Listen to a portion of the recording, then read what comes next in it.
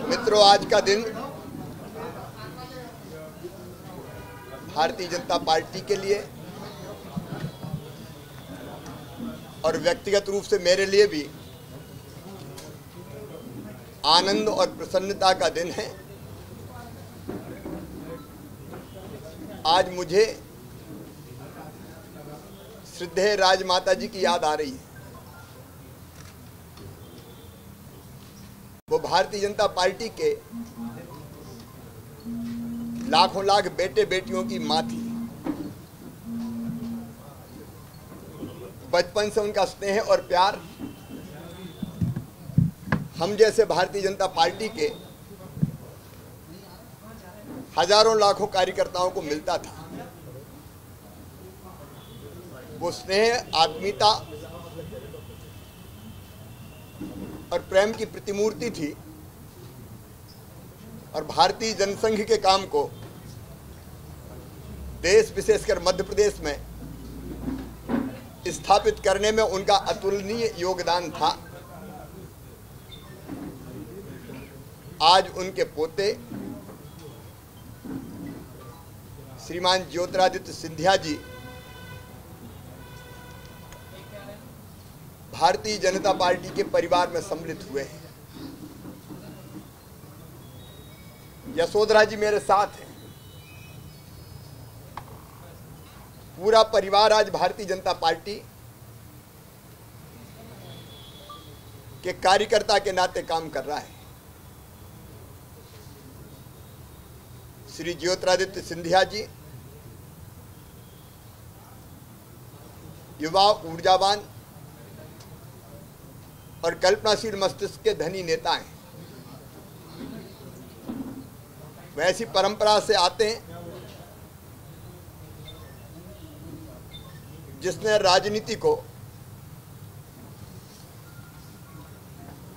जनता की सेवा का माध्यम माना है।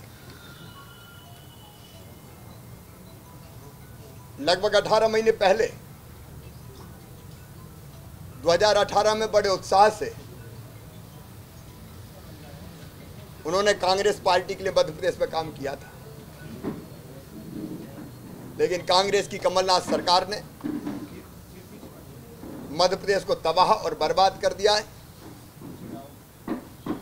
वादे नहीं निभाए, वचन तोड़ दिए गए। और प्रदेश में ऐसी लूट का उदाहरण आज तक कभी देखने में नहीं आया।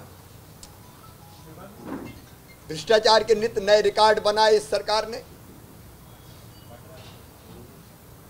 भाजपा की सरकार की जन कल्याणकारी योजना को बंद कर दिया गया।